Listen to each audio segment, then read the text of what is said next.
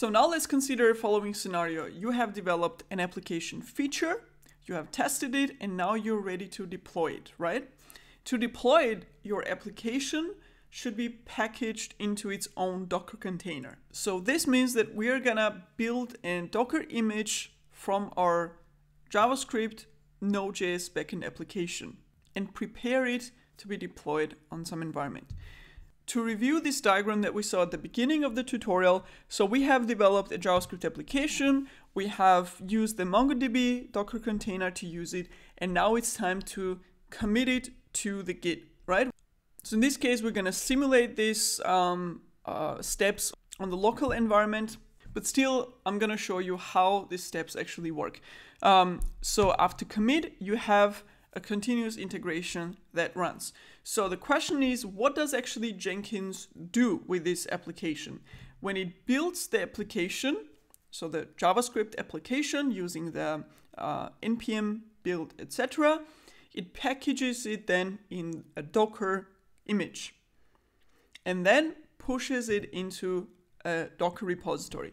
So we're going to actually simulate uh, what Jenkins does with their application and how it actually packages it into a Docker image on the local environment. So I'm going to do all this on my laptop, but it's basically the same thing that Jenkins will do. And then on later step, we're going to push it, um, we can actually push the built image into a Docker repository.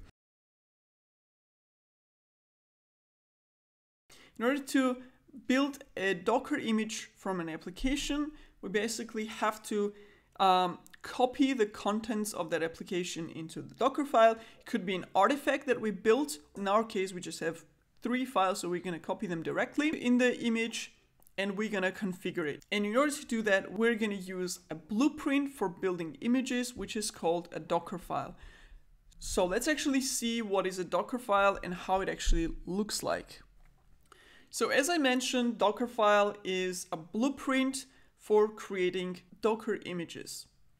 A syntax of a Dockerfile is super simple. So the first line of every Dockerfile is from image. So whatever image you're building, you always want to base it on another image. In our case, we have a JavaScript application uh, with Node.js backend, so we are gonna need Node in, inside of our container so that it can run our Node application instead of basing it on a Linux Alpine or some other lower level uh, image because then we would have to install Node ourselves on it. So we are taking a ready Node image. And in order to see that, let's actually go to Docker Hub and um, search Node here. And here you see there is a ready node image that we can base our own image from. So here we have a lot of different tags, so we can actually use one specific one or we can just go with the latest if we don't specify any tag. So what that actually means, basing our own image on a node image, is that we are gonna have node installed inside of our image. So when we start a container and we actually get a terminal of the container, we can see that node command is available because there's node installed there. This is what from node actually gives us. So the next one is we can configure environmental variables inside our Docker file. Now, as you know, we have already done this in the using the Docker run commands or the Docker compose. So this will be just an alternative to defining environmental variables in a Docker compose, for example.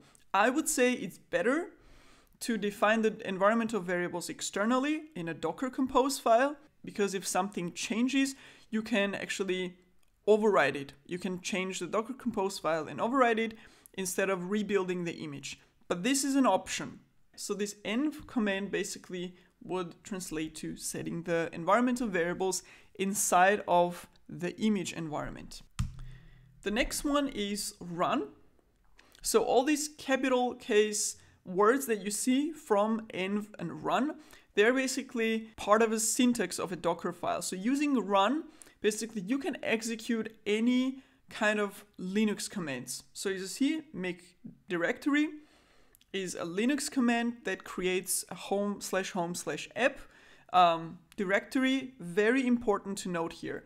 This directory is gonna live inside of a container. So when I start a container from this image, the slash home slash app directory will be created inside of the container and not on my laptop, not on the host.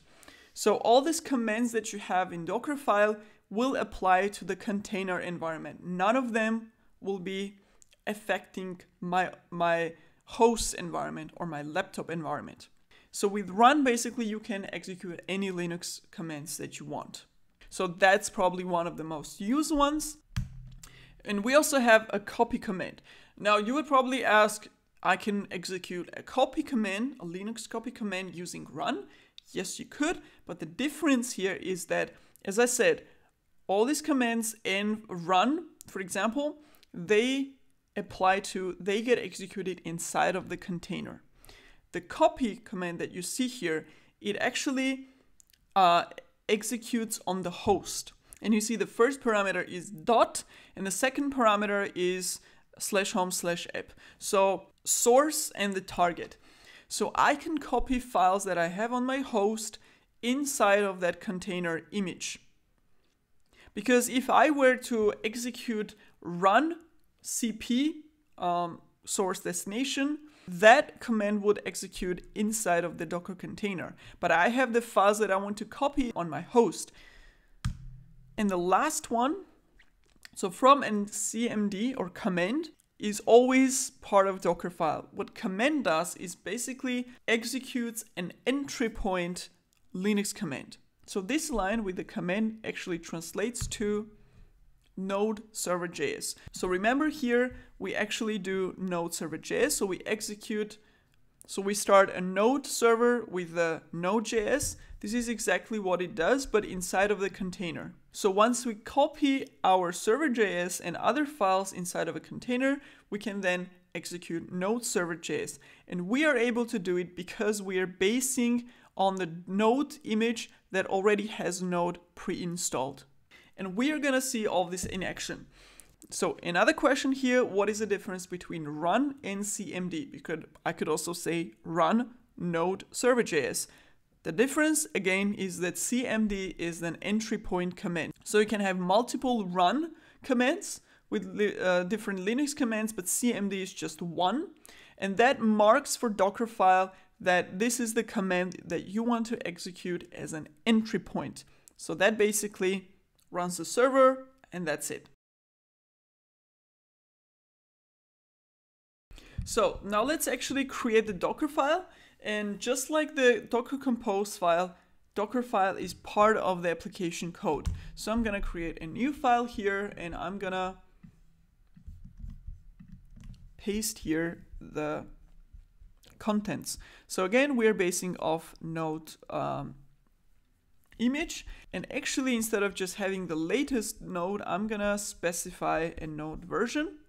So I'm going to take 13 minus alpine. So all these that you see here are tags. So I can use any of them as a tag. So I'm gonna say 13 minus alpine like this. So this is gonna be a specific node image that I'm gonna use as my base image. Let's actually stop here for a moment and take a little bit of a deep dive on this line. So since we saw that Dockerfile is a blueprint for every for any Docker image, that should actually mean that every Docker image that there is on Docker Hub should be built on its own Docker file, right? So if we actually go to, um, let, let's actually look at one of the latest versions, which is 13 minus Alpine, and let's click inside. And as you see, this specific image has its own Docker file. And here, as you see, we have the same from that we just saw. And this is what this node official image is based off, which is a base image Alpine 3.10, right? And then we have this environmental variable set and all these Linux commands using run and some other environmental uh, variable, and you have this entry point, which is a script. So you can also execute the whole shell script instead of instead of separate commands, and you have this final command, right? So you don't have to understand any of this. I just want to demonstrate that every image is based off another base image, right? So in order to actually visually comprehend how this uh, e layer stacking works with images, let's consider this uh, simplified visualization. So our own image that we're building, app with the version 1.0, is going to be based on a node image with a specific version. That's why we're going to specify from node 13 Alpine. And the node 13 Alpine image, as we saw in the Docker file, is based on Alpine base image with the version 3.10. That's why it specifies from Alpine 3.10. So Alpine is a lightweight base image, then we install Node on top of it, and then we install our own application on top of it. And basically this is how all the images are built. So now let's go back and complete our Docker file. So we have the uh, from specified, we have the environmental variables specified, and in just a second we're gonna actually see these commands in action. So let's copy that, and this is also very important. Docker file has to be called exactly like that. You can't just give it any name. It is always called Docker file, starting with a capital D, and that's it. It's a simple text file, so just save it like this. And here you even see the highlighting and this Docker um, icon. So now that we have a Docker file ready, let's see how to actually use it. So how do we build an image out of it? So in order to build an image using a Docker file, we have to provide two parameters. One is we want to give our image a name and a tag, just like all the other images have. So we are gonna do it using minus t. So we're gonna call our image my app, and we're gonna give it a tag of 1.0. The tag could be anything, you can even call it actually version 1, it wouldn't matter. So we're gonna do 1.0. And the second required parameter actually is a location of a Docker file because we want to tell Docker here build an image using this Docker file. And in this case, because we're in the same uh, folder as the Docker file, we're just gonna say current directory when we execute this, we're gonna see that image is built. And this is an ID of the image that was built. Because I already have Node 13 Alpine on my laptop, um, this just use the, the one I have lying around locally. For you, if it's the first time, you will actually see that it's pulling Node image from the Docker Hub. So now with the Docker images, I can actually see that my image is here. It says created two days ago. I don't know why. But anyways, so I have the image name, which is this one here. And I have the name of the image and the tag of the image. So if we go back to this uh, diagram that we saw in the review, so basically we've gone all these steps or we have simulated some of the steps. We've built the JavaScript application using a Docker co uh, containers. And once the, the application is ready, uh, let's say we made the commit, and we're we just simulated what Jenkins server also does. So what Jenkins does is actually it takes the Docker file that we create. So we have to commit the Docker file into the repository with the code. And Jenkins will then build a Docker image based on the Docker file. And what is an important point here is that usually you don't develop alone, you are in the team. So other people might want to have access to that up-to-date image of your application that you developed. It could be a tester maybe who wants to pull that image and test it locally, or you want that image to be deployed on a uh, development server, right? And in order to do that, you have to actually share the image. So it is pushed into a Docker repository. And from there, either people can take it, for example, a tester maybe want to download the image from there and test it locally, or a development server can actually pull it from there. So let's actually just run a container. I'm just gonna say docker run, the image name, obviously, and a tag like this. And in this case, I'm not gonna specify any other options because we just want to see what's going on inside of the container. So I'm just gonna run it. Okay, so the problem is that it can't find the server.js file, which is actually logical because uh, we're not telling it to look in the correct directory. So since we're copying all the resources in this home slash home slash app directory, server.js is gonna be there as well. And this is another topic. Whenever you adjust a Docker file, you have to rebuild an image because the old image cannot be overwritten, so to say. So what I'm gonna do now is actually I'm gonna delete the one that I built so I'm gonna I'm gonna actually take the image. This is how you delete an image.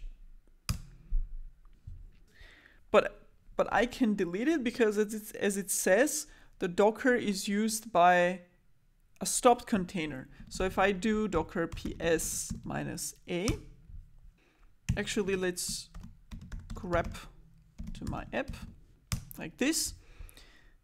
I have to first delete the container. So this is how you delete a container. It's docker rm. And once I've deleted the container, I can delete an image. So the image deletion is rmi, like this. So if I do images now, I see my image isn't there. Okay, so we've modified the Docker file. So let's rebuild it now. So docker build again.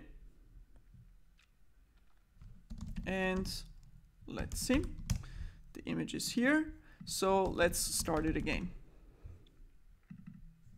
So it's my app 1.0 and let's run it. And as you see, the problem is fixed, app listening on port 3000. So our app is running. So this one here, my app 1.0. First of all, we can see the logs here, like this. We see that the app is listening on port 3000. We know everything is cool. To actually just get a little bit more insight, let's uh, enter the containers or, or let's get, get the terminal, the command line terminal of the container and look around there. So I'm gonna say docker exec interactive terminal. I'm gonna specify the container ID in bash like this. And since bin bash doesn't work, we can actually try shell. So this is something you will also encounter because some uh, containers do not have bash installed. So we'll have to connect using uh, bin sh. So one of them has to work always. So let's see in which directory we are. So we are in the root directory and we see our virtual file system there. And as you see, the cursor changed as well. So that means we're inside of a container. So now let's actually check some of the stuff. So first of all, we specified some environmental variables here in the Docker file. And this means that these environmental variables have to be set inside the Docker environment. So if we do env, we actually see the MongoDB username this one here, and MongoDB password are set. And there are some other environmental variables automatically set. We don't care about them. So another thing we can check is this directory because remember, because with this line, we actually created this slash home slash app directory. So let's see slash home slash app. And as you can see, the directory was created. And with the next line, we copied everything in the current folder. So if we actually go and see reveal in Finder, so this is where the Docker file resides. So basically we copied everything that is inside of this directory, so all of this, into the container. Now, we don't actually need to have Dockerfile and Docker Compose and uh, this other stuff in here because the only thing we need are the JavaScript files or if we build a JavaScript application artifact, just the artifact. So let's go ahead and uh, improve that. So what I'm gonna do is I'm gonna create an app directory and I'm gonna copy just the files that I'm gonna need for um, starting an application inside of a container. So I'm gonna take those and the images as well. So all these are just external ones, we don't need them there. And images, the index.html file, package.json, server.js, and the node modules are inside of app. So what we can do it now is instead of copying the whole directory where, where the Docker file is, I just want to copy all the contents of app folder.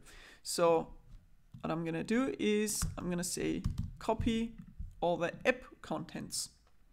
And again, because we modified a Docker file, we need to recreate the image. In order to leave the Docker container terminal, you can actually exit. So now we are on the host again.